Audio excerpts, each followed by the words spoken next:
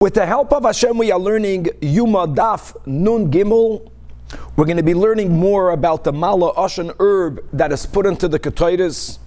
We're going to have the discussion about one of the insights into the cause of the tragic death of two of Aaron's elder sons, which was by Yom Hashmini Lemeluyim. We're going to have the source that when the Kohen Gadol exits the Kodesh Kachim, he has to exit the way he entered. In other words, he walks out backwards, and that's going to lead us to other instances where we not where we're not allowed to turn our back towards, including when a Talmud leaves a Rebbe. That halachically, the lashon in the Gemara is you have to go to the sides mitzadadin, beyond the letter of the law, mamish, we have to walk backwards, which is going to lead us into the whole discussion of how when we finish Shemona Esrei, we have to take three steps backwards with other pratim about how we conclude the Shemona Esrei with bowing to the right and bowing to the left, etc we're going to have, the Gemara is going to share with us the Tefillah Kitzara that the Kohen Gadol says, Bebeis Achitzain, as we have in the Mishnah Daf Nun Beis, Amid Beis. What is the Tefillah Kitzara? Which is going to lead us into a fascinating story to Rabbi Chanina ben Doisa. And then we're going to have on Daf Nun Gimel Amid Beis another Mishnah, the next Mishnah. It's going to be very interesting that even though we already explained the Mishnah Daf Nun Beis Amid Beis is speaking about Bisman Bayesheni because it was speaking about the Kohen Gadol's walking in between the both curtains and the Mishnah that said that he placed the uh, Machta Bein Habadim. Ah, we said in Bayesheni we did not have the Aron Kodesh. It means in the place that used to be Bein Habadim. It's going to be a little bit challenging because the Mishnah that we will learn today on Dafnun Gimel Amid Beis will explicitly begin that when the Aron was taken away, then the Machta was placed on what we will call now the Evan Hashasiya, the foundation stone. These are the words of the Mishnah. We're going to have a lot about the Evan Hashasiya on Daf Nun Dalid on the next Daf. And actually, the Gemara is going to point out the contrast between the words that we learned yesterday in the Braisa Mishnah, Nignas Ha'arein, versus the words we're going to have in the Mishnah today on Nun Gimel and Beis Mishan Nital Ha'aran. Big difference. Nital means it was taken. And guys, this is going to take us back to Shkolim, where there we take out Tanoim. Whether the Aron Kodesh was concealed, was hidden someplace in Harabayas, under the place of the Beis Hamikdash, or certainly the entrance to the pathway, to the secretive pathway, is from some place in the temple complex. Now we learn details in Shkolim. It was in the uh, Beis Ha'etzim, in the Lishkas Beis Ha'etzim, versus other Tanoim that opine that the Aron HaKodesh was taka taken into Bavel, and that's going to correlate better with the words in the Mishnah, Daf Nun Gimel in Yuma, Mishanit al Ha'aron. We're going to be learning about the next step that happened after the offering of the Ketaitis. The Kohen Gadol left, that we already finished learning on Daf Nun Beis Amid Beis, but now he's going to bring back in the dam of the par. We're going to learn details in the Mishnah about how and where was the dam of the par sprinkled in the Kodesh Kachim. And this is all journeying through the Avodah. And after we learn the Avodah of the par, we're going to learn in the next daf a similar Avodah that happened with the dam of the Soid. Just for the sake of clarity, the Soid is not slaughtered yet. No, where we're at is, is that the par was after both viduyim, the par was the shchitas apar. The dam was given to someone, to a kohen that was standing on the roivad revi'i, the Mishnah says of the Heichel, beyond the Heichel in the Ulam, as we learned, and he was being Memaras Bedam. We are up to now everything that he's doing with the Ketaitis, including already exiting the Kodesh Kachim. That's where we're at in the Seder Hadvarim. And Chevra, let's go to Dafnun Gimel Amid Aleph. We are 19 lines from the top of the Amid, right, nearing towards already the end of the narrow lines. In middle, in middle of the line, Amar Mar, Amar Mar that we learned before. Now the Braisa was very challenging because just quickly reviewing, we have the Tzedukim that they erroneously interpreted the pasuk in Achremois Kiba Anon Eira Ala as to mean that they needed to enter the Kodesh Kachim already in a cloud, and we know that that's not the case. And the reason why we know it's not the case is because it says that v'nasan esakatoiris al ho'esh lifnei Hashem. That we place the katoiris when we are standing lifnei Hashem means in kodesh kachim. So the Braisa says, I, what's the pshat kiba onon eroa ala kapoiris? So the Gemara, the Braisa tells us, ah, from here you have a source that you have to put mala oshan in the katoiris to make sure that there is this unique cloud created? It's created while you are in the Kodesh Kachim, but that's the source of the Mala Ashan. And then very difficultly, the Braisa went on to say, Uminayin Ashan. Mama, right after we brought the source from Mala Ashan, the Braisa says, and how do you know you have Mala Ashan? And the Braisa then brought another pasuk. And the other pasuk is where it says, anan So that's where we're leaving off. We have to explain the flow of the Braisa. So Amar Mar, the master, the Tana taught us, Uminayin shenoisim b'mala ashan. And the Braisa answers, Talmud Leimer V'chisa asks the Gemara, how do you understand that? The Braisa just used the pasuk Kiba Anan Eroa ala Kapoiris as the source that we have to put this herb Mala Ashan in the Katoiris. So Kra, Likra, what? You have to have a source for a pasuk from another pasuk. No, the source is the pasuk. So Amar Rabbi Yosef Hachika Amar. Ah, we have to we have to add a nuance here in the. Baruch The malo Ashan, like all herbs or many herbs, have two parts to them, or we can classify them into two parts. You have the leaf of the herb, and then you have the root. So says Rabbi Yosef that had we only with only the first pasuk kiba onon era ashan, I would have thought that we only are allowed to put the superior, the better part of the mala ashan. And according now to this first understanding, that would be the leaf. ashan. You have to use the best, which is the leaf. Ikar mala ashan minayin. How do you know that you can also use the root? So Talmud Leimer, that's why we have a second pasuk v'chisa. So Amalei Abaya, I accept your, your premise. To psukim is to add even, so to say, the inferior part, but Yud Yosef, if you have it wrong, 180 degrees wrong. Tanya, we have an Abraisa clearly that the root is superior. So if we only would have had one pasuk, we would have we would have applied it to the root. Okay, the Tanya, as we learned, that nasan ba ikin malo ashan, that if you put the root in, dafka the root, that's the best part of this herb. Then hoya misamir va'oila kamakel, then the smoke would rise right like, like the shaft of a palm straight up until it would reach the ceiling. And as we explained, it wasn't only that it hit the ceiling, but what happened later was Kivin Shigel the first white line, it didn't want to go down. So instead of going down, it went horizontally. It traveled under the ceiling and it went now to the all of the uh, horizontal parts. Went north, south, east, west, all on the roof. Memashmeish v'yoyred b'ksalam, and it slowly would descend, and it wouldn't descend in the whole room, it would only descend down the walls. Achen abayis oshan. Almost as, in other words, there was like an empty space within the oshan Right, Vayikra El Moshe, we have that right. Rashi says that God made like a shvil to Moshe Rabbeinu to enter. Something similar happened because of the Mala Oshan. Shenemar v'habayisi Malay Oshan. And enough, this was so important, as we learned in the Mishnah, that the Kohen Gadol would stay in the Kodesh Kachim until the bayis was filled with the smoke. So Bekitza Dir, the Braisa seems to be emphasizing that the superior part of the Mala Oshan is dafka when you use the root. Abai accepts Rabbi Yosef's premise the Braisa needs two psukim to add even the inferior, but he flips it. Second white line. If I only would have had the pasuk kiba on an era alakapoides alei mala oshin minayin. How do you know that you also could use the alei, the leaf, even though its effect won't be as good as? So Talmud Leimer, that's why the Braisa brought v'chisa. Rabsheshes Amar another explanation why the Braisa needs to find two psukim that allude both to the Ma'alei Ashan herb. Had we only had one pasuk, I would have thought that when did we need the Mala Ashan? Only when we were in the desert. However, when we moved on to Shiloh and base Eilamim, God's eternal home, how do you know that there also we need the Mala Ashan? That's why we need the second pasuk. All right, asks the Gemara, hi. Why are you telling me that I need to have a special pasuk for the future when it says also an Achri Mois that v'chein yasel oil moyed hashoichen itam. That pasuk means that as we do in the desert, similarly should always be done in all of the future oil moyeds. This pasuk already gives us the general rule that all of the type of avodah, as it is prescribed in Achrei is done forever. So we don't need to have another pasuk to tell you that Mala Oshan has to be done in Shiloi and in Beis Oilamim. Elo Hachika Amar says Rab Sheshes, Elo, Ein Elo, B'Yom that you have to have the Mala Oshan.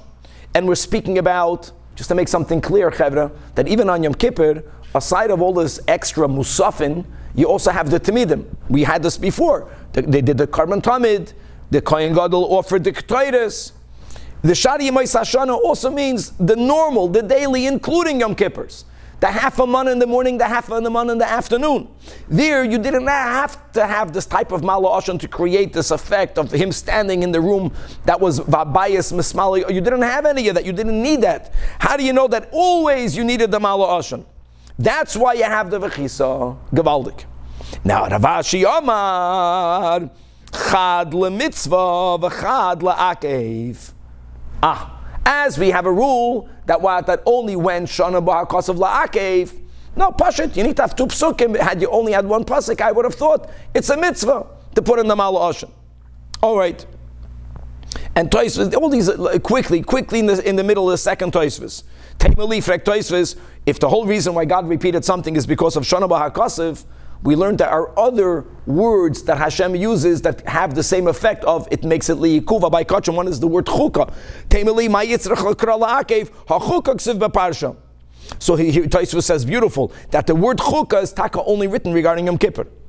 Avol k'toiris the chalashana. You have to have another pasuk for la'akev which is really great. In other words, Rabbi Ashi is being is, is a continuation of Rab Sheshes. Even though even though oh he gives like a new approach, but the, the la'akev is for the Bechol Yemois Hashana. That's great. Rava Amar, another approach, chad lo oinish v'chad Now we can take a step back, and this is a rule, not only concerning kachim. Whenever there is a punishment to be received for violating any one of God's rules, the system is God will mention that at least twice, meaning that there's going to be one pasuk in which God says, Thou shall not. Whether it's an explicit thou shall not, whether it's an implicit, all right. And then there's going to be another pasuk with the punishment. There is never one punishment. Don't do it with the punishment. There is a thou shall not do, and then there is a punishment. Gavaldik. And same thing over here, as we mentioned above, that there's a chi of misa, not only for entering the kodesh kachim with uh, with one of the eleven ingredients missing. Not only that, there's a chi of misa for every day's off, uh, offerings of the ketaydas. If echad nikol, if, if there's a miss, if we're missing one, but how about the malo ashan? That even if you have all the eleven ingredients, but you're missing the malo ashan, you need to have that you're going to be chay of misa you need to have two psukim, chad lo'oinish, v'chad la'azora. And I'm quickly going to read inside the Rashi, somewhere in the middle of the Amid. Chad lo'oinish, v'chad la'azora. Va'al yavoi, kiba'onon, that's the azora. V'chisa anan v'lo yomus ze oinish. And the Rashi says, v'ilu lo yamus, I it says lo yamus, the al yavoi, it says al yamus before. So Rashi says, no, that al yamus is speaking about entering there without coming in with anything, be it a kanis. But if you're entering with the Ketaitis and with all of the Yudal of Samanim, you're only missing the Malashan. Oh, for that you have to have the, the double, the two psukim. Says the Gemara that this is going to be substantiated with the Braisa. Tanya, Rabbi Eliezer Oimer, Vilayamus goes to the Oinish. Kibe Anon is a Roy, that's the Azara, that's Gavaldik. Okay, so now we're going to go me'inyan le'inyan to the following. It's very interesting that even though the Torah writes explicitly in the beginning of Parsha Shmini, when the Torah records the death of Nadav and Avihu, the two older sons of Aaron HaKoyin, the Torah writes befedish that what that vayakrivu lefnei Hashem eish zara, right, with the special trap asher loy tziva oisam, or maybe asher loy tziva Hashem oisam, whatever the lashon hakasav is. The Torah writes that, that they entered with a foreign fire. Nevertheless, Chazal many times are looking for reasons for their passing. It says because they brought an Eish Zara. that, that will never be enough. I'll explain that in a moment. So here we are saying, ah, maybe now we discovered another reason why they passed away. Well, it's now that we established that coming in with Tikkatoitis, but that does not have the Malo Ashan for that Yechayiv Misam. So Yachel says the Braisa, you, Shneim, Amurim, Koidim, Misas Adam, that if both of these psukim, even though they are recorded in Achremois, but based on the rule, even according to those that are very uh, careful when to apply it, that ein mugdam mu'uchar We had this in maybe we had it even after Pesachim until here. There are times that you have to say that the Torah is not written in a chronological order. Maybe God told Moshe these both psukim before Mesa Shnei Ba'aden, and that will explain why they passed away. That's the pshat. All right? And like Rashi says, I'm reading in Rashi, and therefore v'nemar sheba oven malo oshon nitnu. That's why they passed away. So the word says, nah, Talmud. So therefore it says, achre moishnei b'nei that uh, no, this commandment was given after they passed away. Now, by the way, both of these psukim are all written in the portion of Achrei Mois. And the raya that it was not said before, raya is because it says Achrei Mois Shnei B'nei so it's not just that the Torah is not written in chronological order, but if you have a whole portion beginning after their passing, so everything in it is after the passing, it's also not true. One of these two were Taka said before. One of the two, not both. Now, one of the two is the warning. One of the two means that since there wasn't a second Chayev Misa, they did not pass away because they didn't have the Mala Ashen. But Taka one was written before. So Talmud Loimer says the Braisa that the one of the two psukim, that ki be'onon eira ala kapairis, which is the pasuk that the tzaddukim misinterpreted. The one that we know means God is warning us, don't enter in the Kodesh Kachim with the Ketaitis without the Mala Ashan because you will need to have a cloud when you put it in the Kodesh Kachim. This Kiba Anan Eira must have been said prior. How do you know it was said prior to Mr. Shnei Aaron? The Gemara will explain in a moment. Okay, so Haketzad, the one pasuk Hazara was taka given to the Yidden, including to the Kaihanim, to all of us. Kaidam which is why their death was not because of it. The other pasuk, V'chisa anan haketoides es that was taka said in its right place. V'oinish achar misa. Now, before we go on, we have to understand what's the proof that kiba onan eiroa was said prior to. It's so not logical. Not only is it written in the portion of Achri Mois, but, but it's, the parsha is called after their passing. It's a much bigger stretch. Just we have to. Why do we have to say it was said before? My Talmud, Amar Rava Pashit, Amar Kra, Kiba Anan, Kiba Anan, God is saying that I will appear in the cloud. That verse was said prior to Hashem ever having appeared in the Oyel moyed. Now, remember already at the end of Parsa Tzav, after the Torah gives many more pratim in the karbanos, behemshach to Then we go through the uh, Shivas, Shivas Yimei Then Vahibayir Mashmini, even in the beginning of the Parsha. And then uh, after Adam took over, the Shechina still did not appear, however that looked like. And then you had the final tefillah Aaron felt that God did not forgive him. And then the Pasuk says, God appeared. Kiba onan means God says, I will appear. That means he said this prior to the first appearance.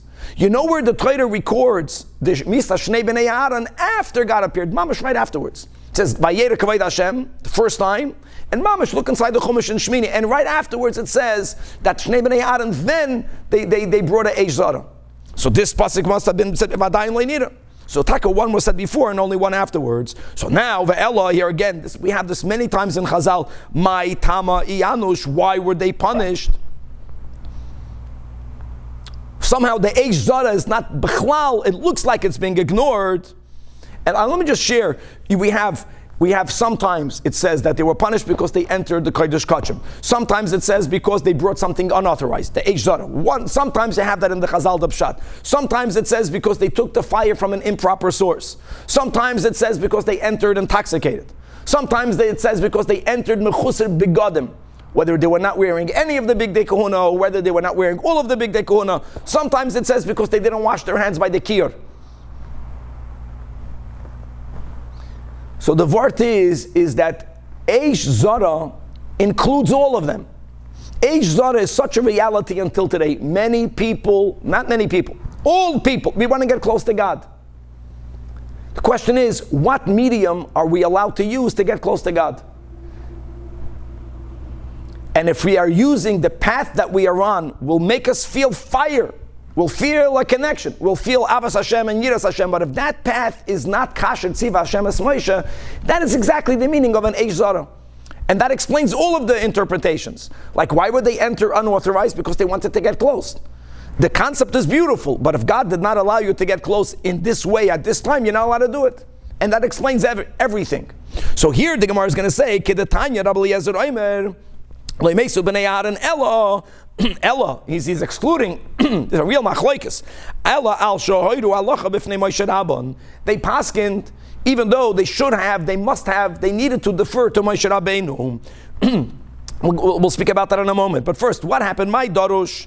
So fakert, since we just mentioned, as we just mentioned, that the presence of God appeared for the first time. One of the many manifestations of the Shekhinah was the miraculous fire that we keep on speaking about, that came in the form of a lion, that consumed the karbanos. And the moment they witnessed that, one might have thought Yutaka did not need to bring any fuel. So they wanted to make it clear that even though the fire of God sufficed to consume no matter how many karbanos you're going to bring, but they said the right din. Nevertheless, God wants for us to bring our own fire, our own fuel.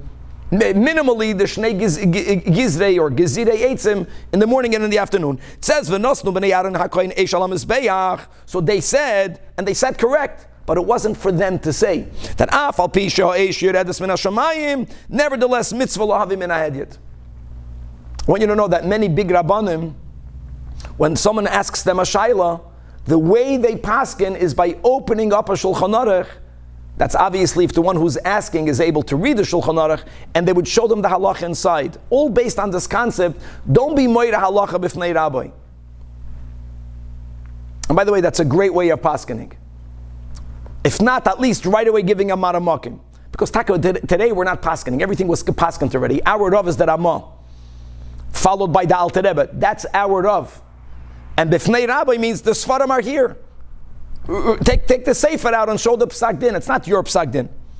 But that, that this concept of paskening and halacha also, you want to get close to God, you want to tell everyone the right thing to do. This is not for you to tell. If Moshe Rabbeinu was present, he should have been the one, he should have been the one who should have shared this halacha and not them. Okay, weiter. Rabbi, Rabbi, can I ask you a question? Yes.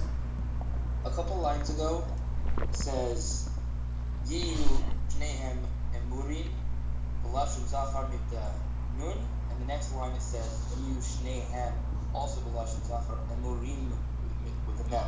What's the significance of changing the Nun to the mem? I don't. I Pasha don't see. It's the last word. Yushne Yushne Mamurim. Ah, got it. Okay.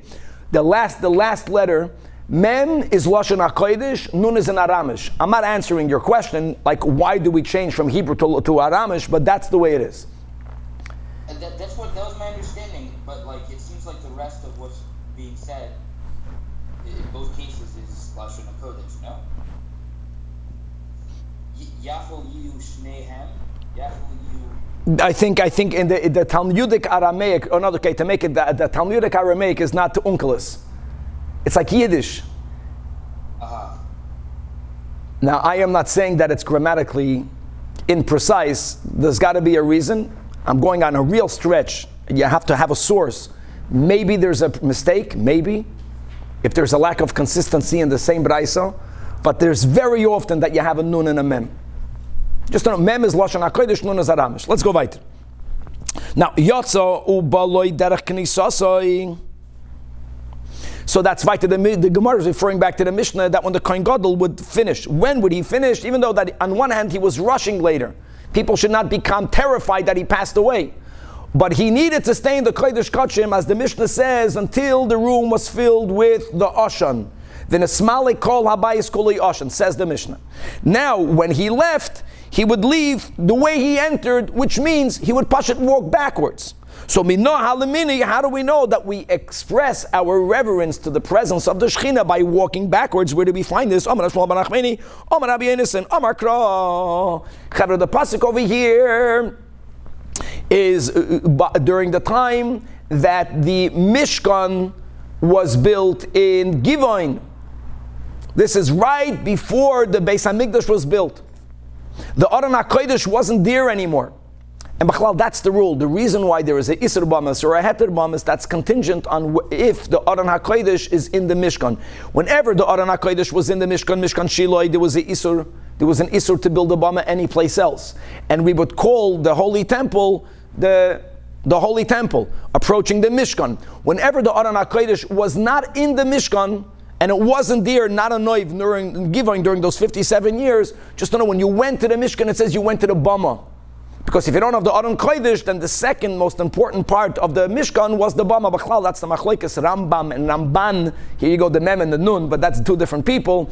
That the, the Rambam holds that the Ikir of the Mishkan is the Karbanos. The Ramban says the Ikir is the um, is the is the Aron Hakodesh. So it says Vayavoy Shloimoi La Bama. That's just the way they spoke, but because it wasn't Givoin, that wasn't Givoin. And the next word, Pasha, doesn't make sense. He went to the Bama, to the Mishkan, and given in Yerushalayim. No, no, no. It wasn't given. The word Yerushalayim doesn't fit. V'chima in given Eitzel Yerushalayim. Ella, the vart is, Makish Yitziyosim given Yerushalayim. After he brought the karbon on the Bama in Givain, when he went out, he was physically facing he was positioned begashmius the same way he was positioned when he entered. Libiyase mirashlayim legivain, which is ma biyase mirashlayim legivain. Where, where was he facing? He was going towards Givain from Yerushalayim. Panav klape bama. Af that's just the way you walk. You walk frontwards. When he finished giving his offering his karbanos, and now he left from giving, going back to Yerushalayim, up until a certain point, up until a certain point, panav klape bama. He begashmias did not turn around. He walked out completely backwards. Says the Braisa weiter. I'm sorry, says uh, Rabbi Yonis and weiter, V'chein kohanim b'chlal, every day when they did their avodah, and the Levium when they stood on their platforms, and the Yisraelim who had representatives that needed to stand, right, b'ma'amadon, or all the Yidden that opted to stand and to witness the avodah, that kishahem liftarim, when we depart, they did not turn their faces around totally. And here I know that there's two levels of backwards. The Mishnah, the, the, the, statement of Chazal begins with the minimum. The minimum reverence is mitzadadin peneim v'holchin. Mitzadadin means you walk sideways.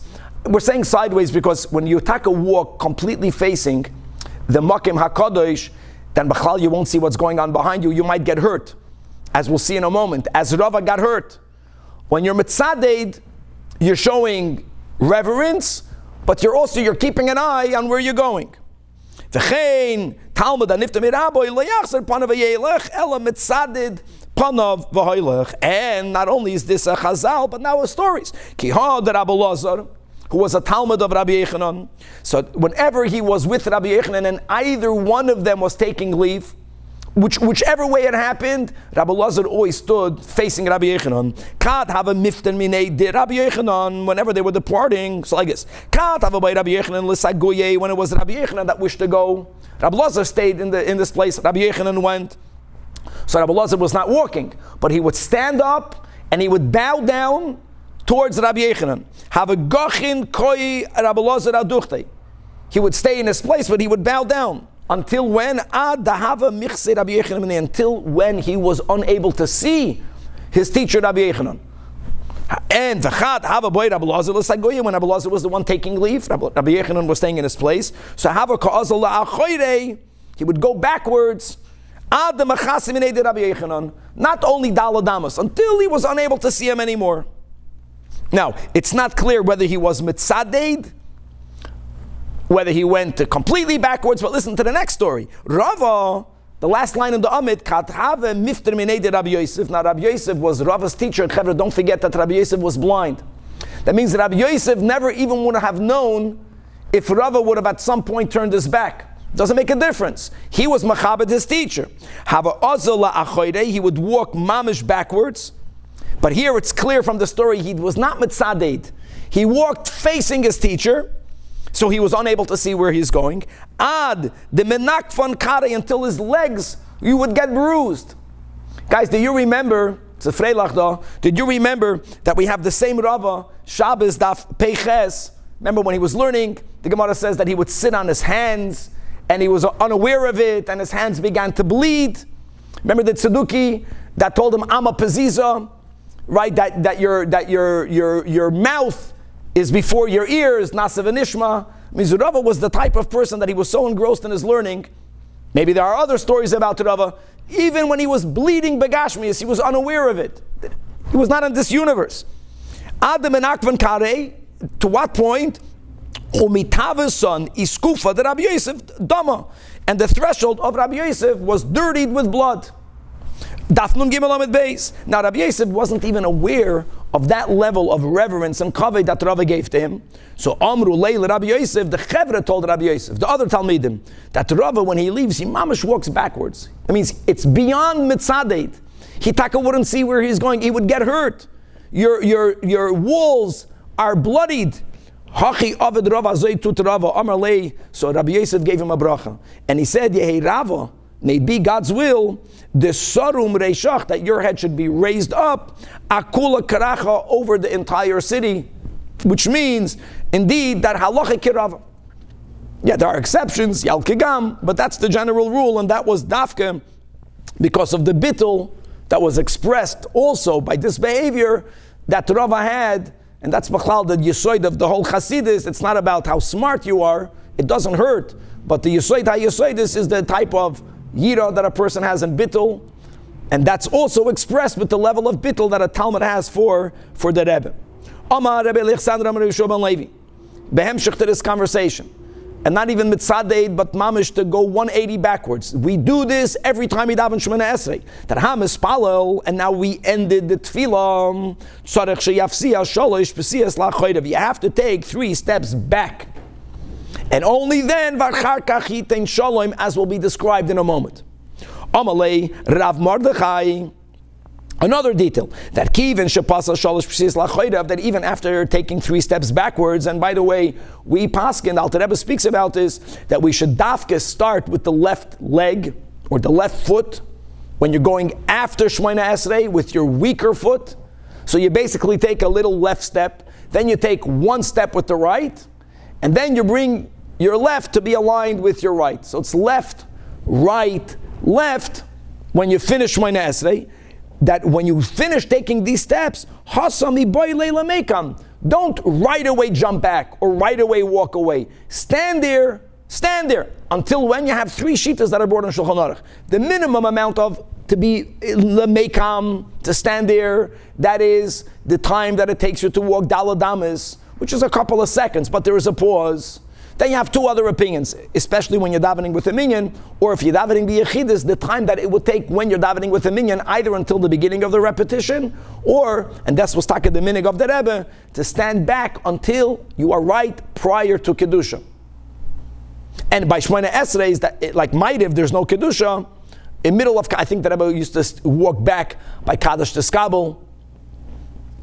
By Friday night, the Rebbe would walk back, he would stay by Chulu back I think in the middle of the Baruch Ato Hashem, I don't remember, but the people, the people that are very good at knowing exactly the minig of the Rebbe, but there is a while that you step back.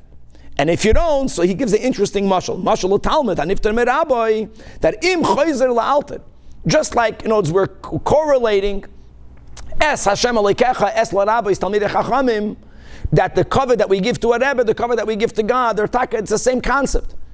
That im chayzer la'altir, doimer lekelev shashav al if a, if a dog vomits, so I know we're going from the negative to the positive, but it's the same concept. When a dog vomits, so at first he, he, he's getting rid of something that's unhealthy within him. But the, the meaning of the dog is many times he licks up his vomit. When you see that, then you understand he didn't vomit because he wanted to get rid of some unhealthy substance in him. Why would he lick it up?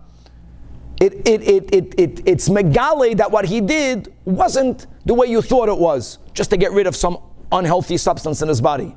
When a person takes three steps back from Shemana Esrei, it looks like he's giving reverence to God. It looks like a positive thing. If you right away stop doing that, especially we walk back, then it makes it into achucha klula. It, it takes away the whole chashivus. Now, of course, at some point you're going to have to walk back. And Bachlal, the way the Alter explains, listen, from God's perspective, Hashem is everywhere, and that's the real truth. So why are we Bachlal taking steps back and steps forward? The whole world is God's place. But, but when we are focusing on our das tachten, on our relationship with Hashem, you find me a yid that is the whole time conscious that he's in God's presence. These are big tzaddikim. Most of us don't have that consciousness, so we have to make our effort for us to experience the truth, and that's also expressed by the three steps. It's amoida that the, you know I'm thinking about other stuff. Uh, Halavai, somewhere God is in my mind, but to really understand that I'm standing in front of God's presence and I'm taking leave of God's presence, that is expressed when I take the three steps back and hold on a second. Wait, wait for it, wait for a moment. And Tanya Nami the second medium sides lines, I'm a spalel. And only then v'achakachit shalom. And the im loy asa kain, these are very heavy words, is ro'ui loy shaloi Wow. In other words, the failure of a person, it, it, what does that show? It, it, expresses the person's lack of awareness that he was standing in front of God. No, it's a big thing to take the three steps back and take a pause. And then furthermore, um, umishum shemaya amru. How often do we have from Shemaya, right? Shemaya Naftalian, that not only do you take three steps back, but only after you, you take the three steps back. Now we have more pratim. Shanois and shalom liyamin Part of taking leave is you, you bow liyamin. We'll see soon what that means. I know yamin means right, but we'll clarify. And varchar kach lismoil. And Shenemad, why to the yamin first? So he brings a source to prove that there is some sort of intrinsic um, superiority to the right. As it says, miyaminoi eish das lamai. Right? No, the fact that the fiery, that the Torah came from God's right, that's a raya that there is some intrinsic Maila to right, so take Shalom first liyamin. And now ve'oimer, you always have to explain why you have to have another pasuk. It says in Tehillim that Yipol mitzitcha elef urvava miminecha. Now we have, as we learned in Brachas, a lot of demonic forces all over the place, especially right around us. To the left we have a thousand, and to the right we have ten thousand. So that's araya by the fact that there are ten thousand shadim to one's right from whom God protects us from if they are of a destructive nature, why is there more to the right than to the left? I know we're speaking about something negative. That's because there's more potential greatness. There is a greater upside to the right than to the left. And that's the way it is. The more Kedusha, the more opposition. The more Kedusha, the more Tuma. The more Kedusha, the more Klipa in potential.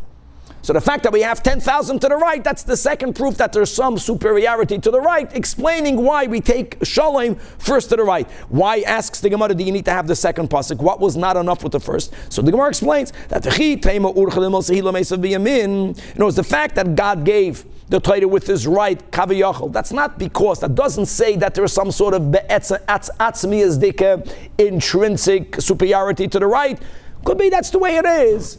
It, it's not that deep. That's why Talmud Tashema, the, no, the fact that we have many more, tenfold more shadim to the right, to the left, that's because there's something unique about the right towards which there is uh, the potential for a lot more negativity.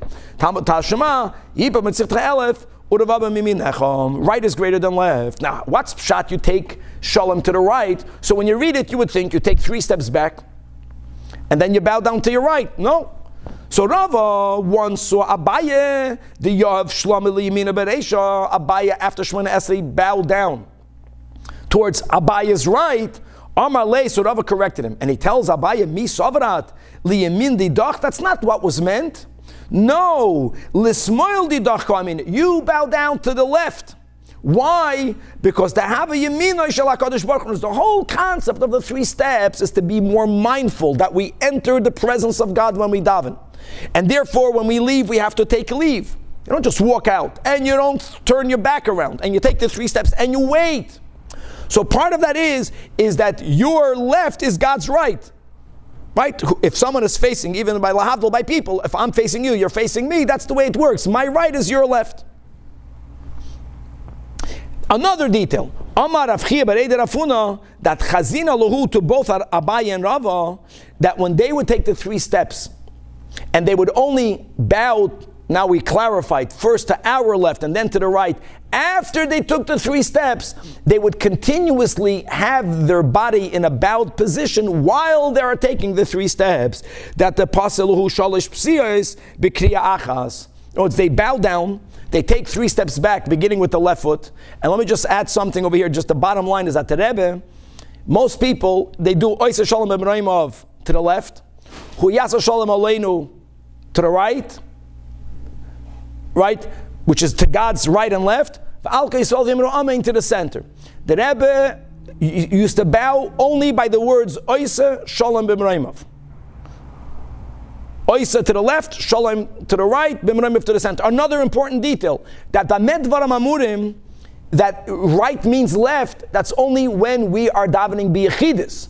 When a person is a Shliach Tzibur, then when you finish Shemona Esrei and when you finish, I mean Kaddish Teskabel, when you take the three steps back, you talk about down to your right first. Because then it's as if you are standing with God, not in front of God, which is how we view it when you're davening b'yechidus. Weiter. Okay. And in this case, yechidus means even with, with the minyan, but not with. The silent Shemana Esrei with the minyan, that is when you bow down to the left, the Rebbe go oisa. The Rebbe actually had another. The Rebbe had another bow to the center. The Rebbe would go left, center, right, center. But when he would finish Moina Esrei, as the as the Shliach Tzibur, he would go oisa shalom bimroimav. Okay, weiter. Umispalol tefillah ketzar They're referring back to the Mishnah. So whatever happened in the Kodesh Kachim, aside of him awaiting for their room to be filled with smoke. The Mishnah writes zero. That's a secret. But here, when he's Bebeis Achitzain, Rashi wrote in the Mishnah, when he's already in the Heichel on the way out, he would pray a short prayer. And now, Frek the Gemara, my matzli. Okay, what's the Tefillah Ketzadam? So says the Gemara, Rava Barav Ada and Ravin Barav Ada. These are brothers. Tarvayu, both of them said in the name of Rav. That Amri was Zakta Kohen Gadol Yihiratzim Lefanach Hashem. May it be your will. Hashem Elokeinu shetehei shanazu geshuma shechuna. Geshuma means rainy. Shechuna means hot. It should be rainy and hot. Frek the Gemara. That is what he prayed. Rainy is good. Hot. Shechuna ma'al yasi is hot, advantageous. Who wants to live in Miami? Ella Ema. No. Im shechuna. Even if it's destined Nebach to be hot, at least let it be rainy because the rain at least counters counters the uh, challenge, the difficulty, the pleasantness, the unpleasantness that we have by living in Florida. That he added more tefillahs. Number one, and uh, you see how a tefillah could start by Yidden. It's beautiful. We, we're daveners. The little tefillah is going to grow a beard. He added that lo ya'adei Yehuda. That made the one who exercises rulership. We're speaking here about the Reish Galusa. We're speaking later uh, ultimately to the Rabbeim that, that, that may it be God's will that the Jewish people should never not have a leader that is from the tribe of Yehuda, which is the ideal leader. And you know why? Going back to above, because the, the, the leaders from base Yehuda have already in their spiritual DNA a much greater level of bittul, which is the whole meaning of Yehuda. The word Yehuda means to be moida, to be battle. And weiter, uh, we got to speak about parnasa. May no yid ever need to get a sustenance one from the other. And and people who are traveling and they don't want to be inconvenienced by the rain. And they daven while they're traveling. God Almighty, please uh, hold on. I'm getting home 7 p.m. and let it rain only then. Don't listen to their prayers. It's amazing. Even though they're praying a selfish prayer, it's only good for them, but for the nation, rain is so important. You know what? They pray be'emes. And a tefillah that's daven be'emes has a koyach. So we have to counter it by asking God not, not, not to listen to their prayer. Like the made the prayer not even enter in front of you. So now the Gemara says that Rab Chanina ben Doisa's prayer was so great that it outdid the Kohen Gadol's prayer. Guys, Rab Chanina ben Doisa, just to know, he's like one of the Baal Shem Tovs of the Gemara, with all of the miracle stories. Rab Chanina ben Doisa lived towards the end of Bayesheni. That means he lived at a time when these prayers were still being articulated by the Kohen Gadol. Rab Chanina ben Doisa, Havak Azal was stuck traveling. And what happened? What happens? Shadam Mitra Alei. Rain descended on him. It made his travel inconvenient, uncomfortable. And he davened, Amar Kol Ha'olam Benachas. Because most people celebrate the rain. But the Chanina is bitzad, I'm in distress. It's not fair. And you know what? God listened to his prayer and pasak mitra, and it stopped raining. The beauty of Rab Chanina ben Doisa was he made sure to daven again when he got home. See, there is where he differs from everyone else. Everyone is in sad because the rain stopped, and only I am benachas. Ah, no, we need rain and asa mitra. So really, it just it, it, it, re, it retroactively shows that Rab Chanina ben Doisa did nothing that harmed the tzibur. He had that intimacy with God. He had that closeness with God that you know. So the, the, God just made a rain delay for him. And indeed, Amar Rabbi Yosef Geba cooked the koyach of Rabbi Chanina ben Doisa, that his prayer was more powerful than the tefillah of the Kohen Gadol right when he exited the Holy of Holies. That Mayahanan late Soloisa the Kohen Gadol Rabbi Chanina ben Doisa. It doesn't. Rabbi Chanina ben Doisa trumps the Kohen Gadol. Says the Gemara Vayt, Tanana, what have we learned? Ma'aseh b'koyin gadol echad, there was once one koyin gadol. Many say that this is Shimon HaTzadik. Guys, we learned about Shimon HaTzadik on Daf Lamed Tesamid base. Shimon HaTzadik, noch this detail, that the last year of his life, since that, that, that the one who appeared like an elder entered dressed in black, he knew that he will not live. And indeed, the Gemara says he passed away like a week after Sukkah, is correct. Va'ayin some more details. So that year, when he left the Holy of Holies, he davened a longer amount of time. In the in the in the Beis Hachitzon. Now, what he prayed for, we don't know yet. But indeed, the people got nervous because he he lingered more than usual, especially Shimon HaTzadik. I mean, this is his 40th year, according to this understanding of the story, according to this tradition of the story. And more than that, Habayas, that the Kodesh Kachim being filled with smoke it, it took a standard time. And when it was filled with smoke, they would leave. So they knew how to approximate. It should take, I don't know, five minutes, ten minutes, and then the Kohen Gadol will come out. When he lingered in the Beis Achitzon, he was longer than usual. And people taka got afraid. The nimnu echav and they took a vote. They're going to do something that normally may not be done. Now we learned that the chol adam lo during the avoid of the ketayras. But they felt confident enough, no, that the ketayra is finished. No one would linger on in the Holy of Holies. So if he's not doing the avodah, then they have the right to enter. And they were entering to see what's happening with him. The nimnu echav to risk it and to enter. Likones achrav. And punkt his heim nichnasin when they began to enter. So that was exactly just as when he was exiting v'hu yoitze, and they right away they vented their fear with him. Amrullah they tell him Why did you prolong your prayer? You got us all scared. Amrulahem to which he responded, Does it bother you that I davened for you? Who do you think I was davening for? You should be thanking me. Is it bothering you that I was davening al beis hamikdash charev? Which is quite amazing because even though really, Shimon, if this was with Shimon HaTzadik, he was in the beginning of Bayis Rishon, even if this was his 40th year, that means the Beis Hamikdash still stood for another 380 years. But for sure, as we learned above on Lametes, that there was a diminution of the Shekhinah. And the moment there's a diminution with the divine presence, the Gilui Shekhinah is lessened that makes the Beis Hamikdash more vulnerable for destruction, and we needed his tefillah indeed for it to last for the, at least the time that it lasted. And they were not happy with that. They told him, Al came. Please don't do this again. Well, he never did it again because he probably just told them, I'm not going to be here again. And they quoted the Mishnah. Guys, they quoted the Mishnah, Shimon HaTzadik. Shimon HaTzadik, we just said, was in the beginning of Bayis Sheni. When was the Mishnah written? Just cleared the oral Torah we had forever. We learned the Mishnayos, and many Mishnayos were very similar. So, and they quoted the Mishnah, Sharei Shaninu, that loyhoya marach bitfilasoi, kedei lahavis es Yisrael. And indeed, just to know the source of the, um, of the, of the string or of the rope that was tied on the leg of the Kohen Gadol is written in the Zohar. And the Zohar writes that they, that's Satana, Rab Shimon, that they would tie on the leg of the Kohen Gadol a golden rope. Now, they wouldn't pull him out by the golden rope without prior going into the Heichel. Because the story that we learned before, that the guy got a knack, it wasn't the Ulam, it wasn't the Heichel. But if he were to pass away in the Kodesh Kachim, so they would enter the Ulam, they would enter the Heichel, they would not find the Kohen Gadol, and he's not coming out. At that point, instead of needing to enter to take him out, they would drag him out, uh, sadly, by this golden rope. Let's move on weiter. So again, I just pointed, by the intro, we pointed out uh, to be more aware of the challenge when we had in the, at the end of Nun Beis Amad Beis that the Mishnah spoke about him putting down the Machta Bein Habadim. And the Gemara says, Miman of Shach, two curtains or Badim. It's one of the two, and the Gemara said, the Mishnah Daf Nun Beis, Amad Beis, is already Bisman by Yasheni. It's a big chiddush to say that because when you just read the Mishnayis, last Mishnah spoke about putting down the Machta Bein Habadim.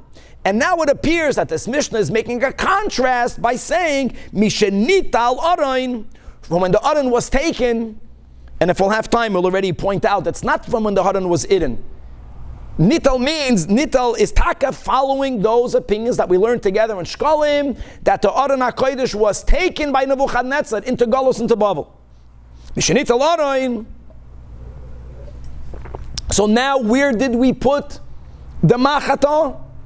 So since Evan Hoysasham, there was this rock in the Holy of Holies from the days of the Nevi'im Rishonim, from the days of the earlier prophets. Now, really, my friends, the rock was there from the creation of the world, and we're going to learn on next daf that some have the opinion that the world Begashmis began from that rock. So the meaning of the Mishnah's words that it was Miyamois Nevi'im Harishainim, it means that it was the earlier prophets, which is Shmuel and David Hamelech, they were the ones that were Megale, they revealed the importance and the significance of this rock. And I don't know if the rock looked as beautiful and as symmetric as it looked in the picture. But there was a rock in the Holy of Holies. And we called it the foundation rock, as we'll learn in the next stuff. And another detail, it protruded above the ground three finger breadths. The rule is a finger breadth is the width of the thumb. And so now coming back. So if you don't have the Aron Kodesh, and really we already didn't have it in last Mishnah, so it's the Shver. But says the Mishnah, when you don't have it, and you would place the shovel on the rock. In other words, you have to approximate where the Adam used to be, and therefore the Badim, the Badim went both to the west and to the east. But don't forget that the, uh, the Kohen Gadol only stood to the east of the Aron Kodesh. She was facing the west. So it was in between the poles that were protruding out towards the east. And that is where you put down the shovel. Nakuda. And in the middle of the Mishnah, now we're going on. Now we're going back to what we learned in the prior Mishnah. The Kohen Gadol already left. He walked out backwards. We already spoke the Tefillah Ketzara. And now what? What now? Now, guys, like this the, the shovel, he left in the Holy of Holies. The ladle, he left in the Holy of Holies. He's going to come and retrieve it later. Now he's coming out to get the blood of the bull to do the avodah with the dam hapad, and it was done in the holy of holies initially. Another thing, the two goats are still living, even though it's already after the goidel, and the two goats are still standing towards the easternmost part of the Azara. Right, Elamad, the sword Lazazel was turned around 180 to face the exit, and according to according at least to some or to all opinions, each one had a red stream wrapped around a different part. They should never get mixed, not with them and not with the sword of Musaf. Now, we're not shechting the sword yet. Now, not el esadam. The Kohen Gadol would get the dam of the bull, from whom Mimi Shahoyim Mamaras by from the coin that was being Mamarasit and the Roiv And Nichnas Lamakim Shenichnas. Now you would enter the place that he had already entered. Va'amad b'makim sha'amad and he would stand in the place that he already stood. In other words, all of the physical details were the same. That the, the whole machlok is did he walk on the northern wall? Did he walk on the southern wall? The way he entered, he entered the same way. He stood exactly in the same spot. And uh, for sure, it also has the inner meaning that lest you think that the loftiest moment of the day was when he offered the ketaitis. And as we learned, that it was then in the cloud that they would, you know, Rabbi Shmuel uh, Barcheni, when he entered with the Dam Hapar, he reached the same spiritual place. He, he came back to the same spot. And what, what was the physical avoida? He needed to sprinkle from the Dam Hapar towards the ark covering. And that will be very important. We're going to have this more in, in Daf Nun Hey. Towards means that even though when you read the Chumash, you would think that he sprinkles the blood on the ark covering because the Torah says al hakapoides. It was not on the ark covering; it was towards the ark covering. However, there was a total of eight sprinklings, and they are divided into two categories. One was lamaila, and we're going to review this. Achas lamaila, we're going to learn it again, but we already had it above. It means that the finger, the right index finger that he put into the mizrak he would sprinkle the blood by having his palm facing up. So when you throw the blood, when your arm is facing, when your palm is facing up, that's called a upward sprinkle. And the blood would actually, it would make like an arch, and it would actually, for a moment, be higher than the height of the kapoides. It wouldn't land on the kapoides, but it would go above the kapoides. That's called achas lamaila. And then the following seven sprinklings would be when his palm is facing down. Meaning the way Chazal, the way we explained this Mishnah, that he never aimed not for the upper edge of the covering, that's Lamailam. He didn't aim to get the lower edge of the covering. In other words, he was not aiming for the covering at all. All of them fell on the floor, but it was kematzlif. We already had that above. We're going to learn it again. Kamatzlef means that he did make an effort, that it's a total of eight, that they should not fall in the same place. That the first one should fall the closest to the Aron Kodesh, the farthest from him. And then every subsequent of the new seven that his palm is facing Lamata, each one, the blood should fall on the ground closer to him.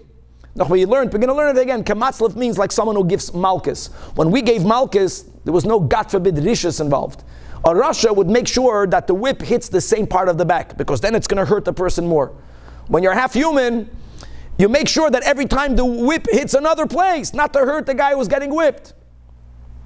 With all of the pratim, again, we'll speak it out when we learn the Gemara inside. So that's the pshat. Loy means he wasn't aiming to get to any part of the ark covering, not to the higher part. He's standing, of course. All of the avodah has to be done standing. If he does it sitting, he he was standing in the same place where he stood when he did the Ketaitis, which is Bein Habadim, or towards the eastern part of the rock. Kodesh Oh, yes, in the Kodesh Kachim, towards the Aron HaKodesh. No, it's, no, it's, as we'll see, he entered for the Ketaitis. This is a second entry with the Dam. And not only did he sprinkle it, but the Kachoyamayna, he needed to count. Achas. Now, the Achas is the one that's called Lamaila when the palm is facing up the one that the blood taka made an arch and it flew in the ear above the ear space of the Aron Kodesh. And he needed to say achas. And then for the next seven, he would count seven. But he wouldn't count one, two, three, four, five, six, seven. He would connect the achas lamaila to all of the seven lamata. So achas, that's lamaila. Let's go soiviv kolalnim. Then our goal is to bring the oira soiviv into mamali. Oiras the toyo bekalim the tikkun. So he connected it. So he didn't say achas. He said achas va'achas. In other words, I'm taking from the koyach of the blood lamaila and I'm bringing it down to the achas lamata. And through all of the seven spheres. All of the seven midos. So achas ve'achas, achas v'shtayim. In other words, he's connecting each one to the achas of lamaila. Achas v'sholish, achas v'arba, Ah, achas v'chamesh. Guys, we can appreciate the davening better. Ah, achas v'sheis and ah, achas v'sheva. And then in the shul, who says what before whom? Does the Baltfila say the achas va'achas? Does everyone repeat it? And then we have the, uh, the beautiful Yom Kippur tension, of the Razoi, the Razoi, weiter. Okay, now Yotza, let's finish the Mishnah. Now, okay, now we finished. And here he's not, here he's walking out with the Mizrak. He doesn't leave the Mizrak. But he doesn't take the bowl outside because the next time he's going to sprinkle the dam of the par will be while he's in the heichal. So he has to put it down. Now, before he had the luxury to give it to a coin who's holding it and steering it. Here, no coin is allowed to be in the oil mayit. So here is where they prepared a stand or two stands. Right now, one stand for this blood. And here he would place the dam in the stand. And by the way, right now the clock is ticking because the moment he put the mizrak that has a pointy bottom, so you needed the stand, but he put it in the kan, in the kan hazov, now he knows that he has only X amount of time before the blood gets congealed. and there's plenty for him to do, and now he's moving. He puts it down on the golden stand. And now he has to eshech the soir. Now, to save time and also chush or the kohen gadol, now is where they took the he goat that was standing in the easternmost part of the Azaram. Now they bring it bein ulam lam mizbeach to the same place where he shechted the dam the par. That's the soir Lashem, and he shechted it with all the details. Bein ulam lam mizbeach, and he again was the same one that was the kibbul b'mizrek as damei. And now he went in to the third time נכנס למקום שנכנס, ועומד במקום שעומד. והעיז ממנו, again, אחס למיילו ושב למטה. וכך היו מיינה אחס, אחס ואחס, אחס ושתיים וכולי. And now, Now there was a second golden stand according to the Tanna Kama, uh, uh, in which he put the mizrak of the dam hasoir. And that allowed him to only use his right hand because he's using his right hand. He put it down. Then with his right hand, he would pick up again the mizrak of the pod. However, Rabbi Yehuda says that lo yisham ela kan echad bilvad. There was only one stand, which means he has to use his left hand as well. And what happened was, no matter which way, not al dam hapar v'niach dam. And now he has, he already went in the, three times and we're going to stop over here to be continued. Now, he has to use the dam hapar and the dam asoir, where many more avoiders with these bloods to be continued.